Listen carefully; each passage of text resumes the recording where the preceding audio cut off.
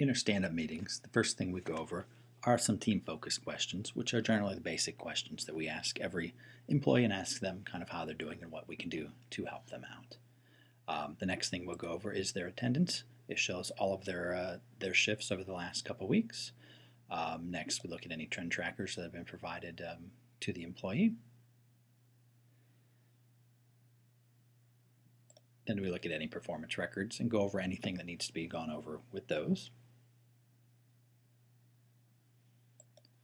We also look at our training trackers where uh, the employees have put in what they've been trained on.